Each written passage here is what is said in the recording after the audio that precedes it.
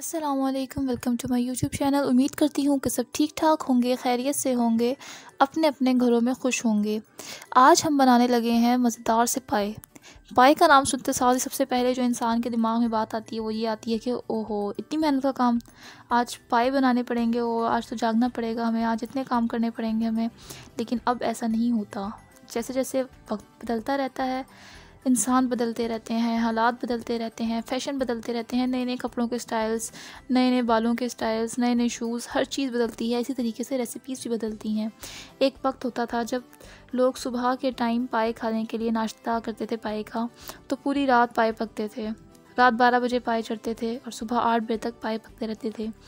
लेकिन अब वो वक्त नहीं रहा। अब जिस तरीके से मैंने बनाया है, मैंने तीन घंटे में पाए बना लिए हैं। और इतनी मेहनत भी नहीं लगी। जिस तरीके से कौरमा बनता है, बिरयानी बनती है, इसी तरीके से मैंने पाए बनाए हैं और टेस्ट गारंटेड है। टेस्ट वही वही टेस्ट आता है, बस मेहनत बहुत थोड़ी लगती है। तो चलें फिर बग़ैर टाइम वेस्ट के जल्दी से पाए बनाना स्टार्ट करते हैं। सबसे पहले हमें चाहिए वन टीस्पून भर के हल्दी का।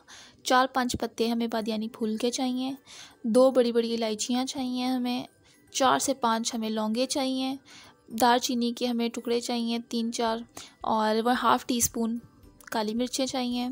छोटा सा टुकड़ा हमें सौंठ का चाहिए और वन टीस्पून भर के शाह ज़ीरे का लिया है। मतलब काला ज़ीरा अगर आप पास नहीं अवेलेबल तो बेशक सफ़ेद ज़ीरा ले लें और वन टेबल स्पून भर के सौंफ का चाहिए। और सौंफ और ज़ीरे के दरमियान जो ये टुकड़ा पड़ा हुआ है छोटा सा पीस है, ये जायफल का है।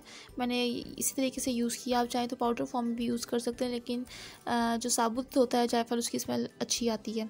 और अगर आपके पास सौंठ अवेलेबल नहीं है तो आप इसे स्किप कर दें, क्योंकि ये सूखी अदरक है, जो जिंजर पाउडर बाज़ार से मिलता है, वो इसी का ही मिलता है। इसलिए इसको स्किप भी कर सकते हैं। और इन सबको हमने एक पोटली में बंद करना है और फिर हमने पाए में ऐड करना है। पोटली में बाँध कर ऐड करने का फ़ायदा ये है कि आपका कलर बहुत प्यारा आएगा। अगर आप इसको पीस के डाल देंगे या फिर साबुत डाल देंगे तो वो कलर नहीं आ पाएगा। ठीक है तो इसको हम पोटली में बंद करते हैं एक। ये हमने सारा मसाला ऐड कर दिया और एक तेज़ पत्ता ले लिया हमने। थोड़ी सी अदरक हमने काट के डाल दी और थोड़े से लहसुन तकरीबन एक एक टीस्पून भर के। और इसकी हमने पोटली बना ली। अब हमने ये पोटली और एक साबुत प्याज, हमने ये पाए में डालना है। ये दो पाए थे, तकरीबन तो होंगे तीन किलो के। इसमें हमने ये डाल दिया और इसमें हमने प्रेशर कुकर में इसको बंद कर देना है। नमक डाल के पैंतालीस मिनट के लिए। मैंने पैंतालीस मिनट के लिए इसको प्रेशर लगाया और पंद्रह मिनट के लिए मैंने इसको ऐसे ही रखे रहने दिया। एक घंटे के बाद मैंने इसको खोला था और इसकी बॉडी बहुत कमाल गल गई थी, बहुत अच्छी गल गई थी। कोई कसर नहीं रही थी। ये देखें, गर्मा गर्म आपके सामने मैंने खोला। ठीक है। ये देखें कितने आसानी से इसके अंदर चम्मच चला गया, इतनी अच्छी गल गई थी। ठीक है, अब ये गल गए, साथ ही हमने दूसरे चूल्हे पे पाँच बड़ी प्याज काट के हमने चढ़ा दी हैं। इसको हमने लाइट लाइट गोल्डन सा करना है। ठीक है, ज़्यादा ब्राउन नहीं करना लाइट गोल्डन करना है और उसके बाद इसका हमने पेस्ट बना बना लेना है ग्राइंड कर लेना है।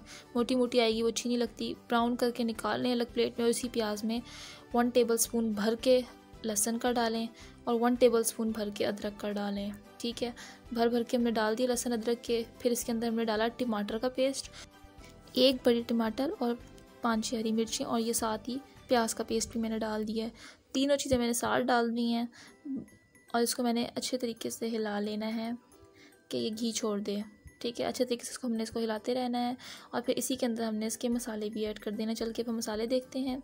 जी तो मसाले हमारे कुछ यूँ हैं कि दो टेबल स्पून भर के लाल मिर्चों का लिया है वन टेबल स्पून हमने लिया हल्दी वन टेबल स्पून काली मिर्च वन टेबल स्पून नमक अकॉर्डिंग टू योर टेस्ट कम ज़्यादा कर सकते हैं आप वन टेबल स्पून भर के पाउडर फॉर्म में धनिया लिया है हमने, साबुत धनिया का पाउडर है ये, और एक टीस्पून हमने लिया है गरम मसाला, आप इसका स्क्रीनशॉट ले सकते हैं साइड पे आ रही हैं, ठीक है, ये सारा मसाला हमने इसके अंदर ऐड कर दिया मसाले में, और फिर हम इसको अच्छे तरीके से चलाएँगे।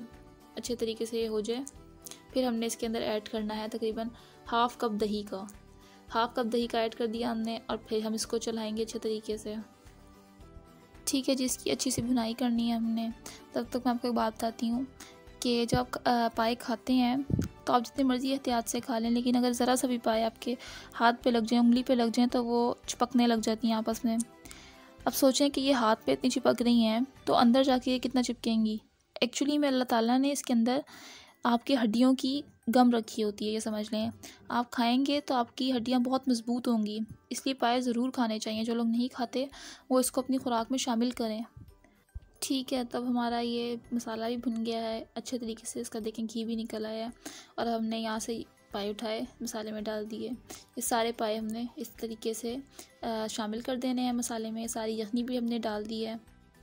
बस ये हमारे प्याज तैयार हो गए हैं इसको मज़ीद बीस मिनट के लिए। आपने दम पे रख देना है कि पकते रहेंगे, कि आपस में ज़रा इसका टेस्ट अच्छा आ जाए, यखनी का टेस्ट आ जाए मसाले में। बस बीस मिनट के बाद आपके तैयार हो जाएँगे आप अपने बाहर निकाल लेने हैं। और इसको अपनी मर्ज़ी से अदरक ले लें, प्याज ले लें, नींबू ले लें, धनिया ले लें, किसी भी चीज़ से इसको अच्छा सा डेकोरेट करके आपने प्रेजेंट कर देना है अपने घर वालों के सामने। दैट्स इट दो घंटे के अंदर अंदर पाए तैयार हो गए हमारे। ठीक है, और जाते जाते एक अच्छी बात कि आप अल्लाह ताला का हर हालत में शुक्र अदा करें। ये जो छोटी सी कोट है, ये भी इसी बारे में ही है कि अल्लाह ताला ने आपको खाने को दिया। इस लॉकडाउन की जो हालात आजकल चल रहे हैं, इसमें बहुत से लोग हैं जिनके पास खाने को नहीं है, लेकिन आप लोग अच्छा खाना खा रहे हैं तो आप अल्लाह ताला का शुक्र अदा करें। अगर आप एथिस्ट नहीं हैं और आपको पता है कि आपका दीन क्या है, आपको, आपके अंदर हलाल हराम की तमीज़ है तो भी आप अल्लाह ताला का शुक्र अदा करें, क्योंकि जिनके पास मंजिल नहीं होती, उनके रास्ते बहुत बेमायनी होते हैं। अगर आपके पास दोस्त हैं, आप तन्हाइयों की तारीकी में नहीं डूबे हुए तो भी आप अल्लाह ताला का शुक्र अदा करें। अल्लाह ने आपको फैमिली दी और आपको जितनी भी नेमतें दी हैं, अगर आप चल फिर रहे हैं तो भी अल्लाह का शुक्र अदा करें।